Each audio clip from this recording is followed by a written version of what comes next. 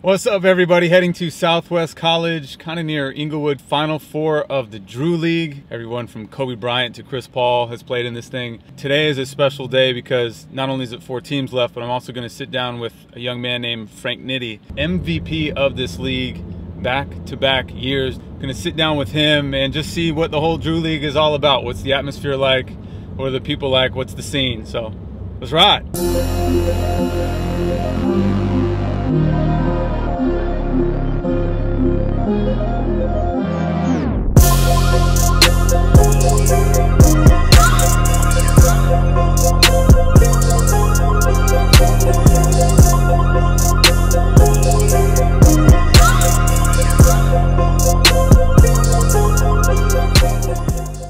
Makes it unique is that uh, it's just a bunch of people who are hungry enough that are going to give you their best game every game.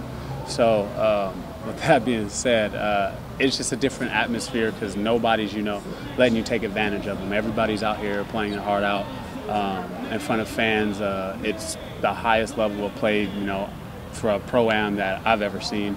Um, it, it's just different with the fans and how they react to plays and everything. So, it's a it's a big difference. It's a big difference.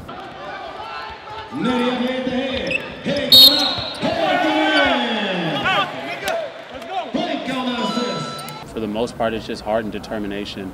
Um, I got a nine to five, so I don't I don't work out on my game. I don't have the time. I'm a, I'm a manager, so I work six days a week. But um, I find one to two days to go get you know a good run in at, at somewhere, you know anywhere, LA Fitness, wherever it is. Uh, I just find it to go get a good run in. But for the most part, my team, you know, they put me in a position to to be the leader I am, to score and to you know never never let me let up. And if, if I'm letting up, they'll come tell me like, well, I need you to turn it on. So. Um, it, it's my team, man. They they all pull for me. We wouldn't be here without Frank, man. Um, when I first when I first met Frank, man, I knew that uh, I had to have him on my team. I got him on my team. I built my team around him, and now we're a family, man. We wouldn't be here without Frank, man. Frank is the nucleus of Birdie's Revenge, and uh, 15 and 0, heading into the championship without any NBA pro basketball players is nothing short of amazing, and he's the reason, man. We play through Frank. Game is the heart and soul of this team. I don't think not a lot of people know it because uh, the way he plays, but man, he's the heart and soul of this team. That's my one of my best friends, man. Um, he gives he gives everyone an extra chip on their shoulder. He is probably one of the the craziest on the court players I've ever seen, besides Bell, which is our big man.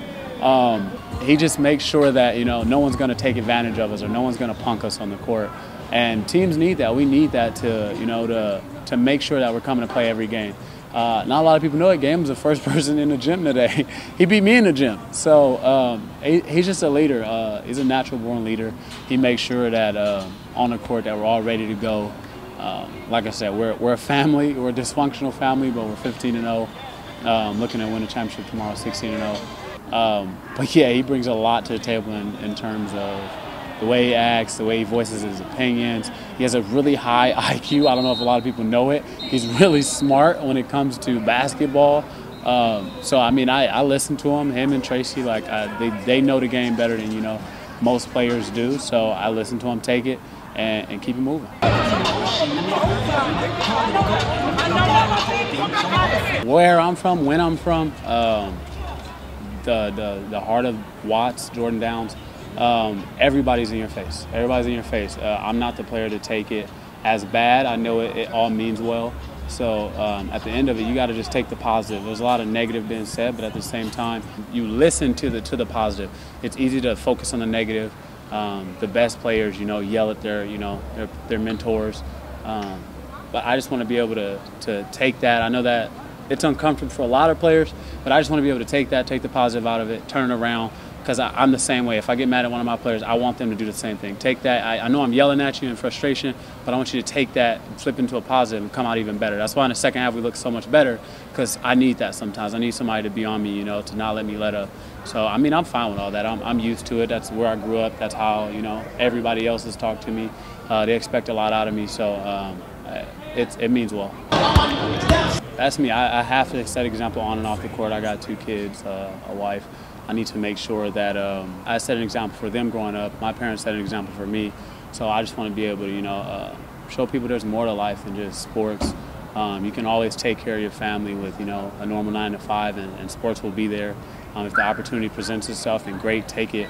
But you always want to make sure that um, you take advantage of a, a, family. Families don't come so often. They're hard to keep together um, on a court. Our team, Birdie's Revenge, we all call each other a family. So um, families first, man. Basketball is second. Um, that that's always been a thought in my mind because uh, growing up, uh, that's all I knew. Young Ray, can you turn me up? I played a lot of places. The Drew is probably one of the hardest places to play just because it's every type of player. You got the number one high school kids in the nation, the number one uh, NBA player from James Harden, who just got the biggest contract. You got the best college players that come here to play. It's just it's just your highest level of play that uh, that you ha- that I've ever seen personally. And um, every game this year has been 100% hard. Nothing's been a walk in the park. So for me, uh, yeah, it's just it's just tough. One and down, three minutes.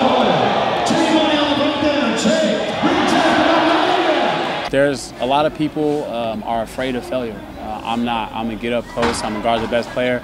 If I fall, he dunks on me, or you know whatever, makes a shot in my face. That's a part of basketball. That type of stuff's gonna happen. Um, they always say if you get knocked down, your, your hardest thing to do is get back up. So um, every play I think of that in my mind, like when I slipped uh, or whatever, I don't know what happened, but I fell and everybody oohed, and uh, the first thing I thought on my mind is it's basketball. It's gonna happen. Just get back on D. Um, I saw him pulling up for a shot, so I just went to block it and got a good piece of it. And then we came down, got an assist, went up by six. It was just a crazy transition plays, but uh, the team uh, the team knows how hard I play D. Um, they feed off that a little bit. Um, so if they see me, you know, I fall, you know, I get made a fool of, and I come back harder my next time down, that's just going to be contagious. They're going to want to do the same thing. They're not going to be embarrassed uh, if something happens to them. Because at the end of the day, it's, we got to win. We got to win. That's all that matters.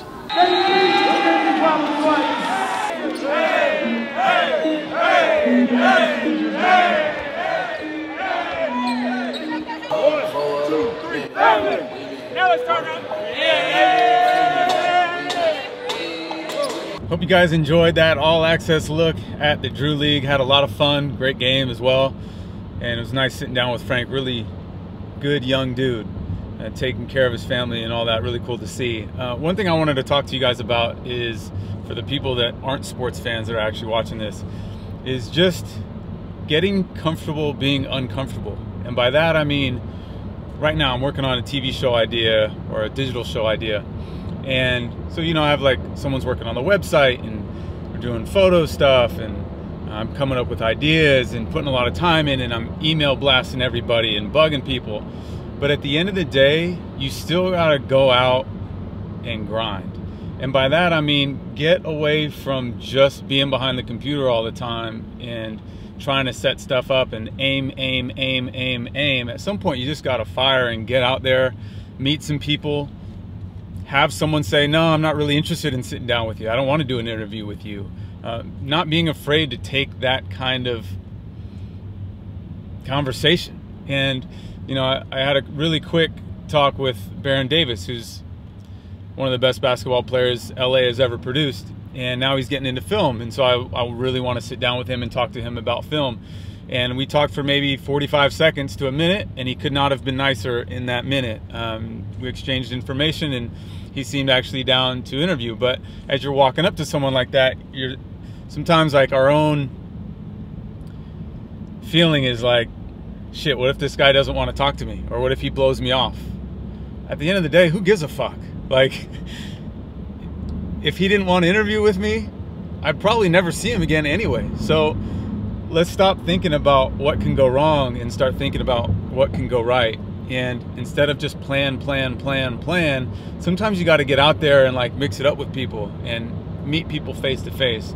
You may have a great idea and you may have someone in mind and you meet them face to face and you're like, man, this guy's a douche or this woman isn't someone I want to do business with. So it's always great to just get out there, have some fun, be in a different place, be in a different spot, try to network, and just enjoy the whole process of it instead of like myself, I'm behind the computer a lot, punching away. I maxed out my Yahoo email account yesterday, and it's like, yeah, that's part of it, but another part of it too is just getting out and meeting people and then them also seeing your passion. Like I'm sure it didn't hurt that Baron saw me out with a camera really grinding and really working hard.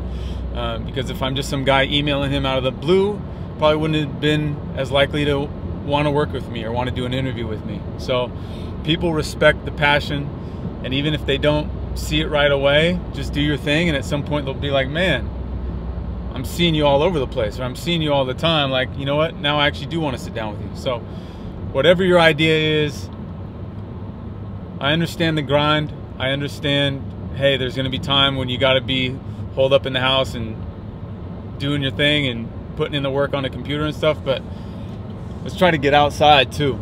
Let's try to mix it up, get comfortable being uncomfortable, and just chase your dream. Thanks for watching.